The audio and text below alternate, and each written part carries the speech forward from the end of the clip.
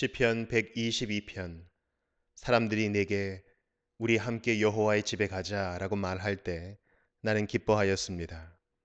오 예루살렘이여 우리의 발이 내문 안에 서 있습니다. 예루살렘은 건물이 단단하게 연결된 도시처럼 건설되었습니다. 그곳은 각 지파들 곧 여호와의 지파들이 여호와의 이름을 찬양하기 위해 올라가는 곳입니다.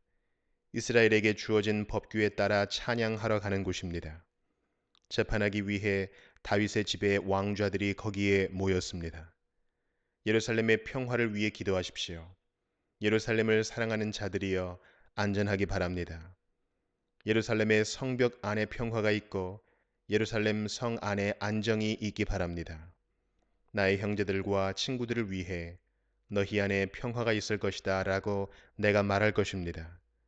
여호와 우리 하나님의 집을 위해 내가 그 집이 번영하기를 기도할 것입니다.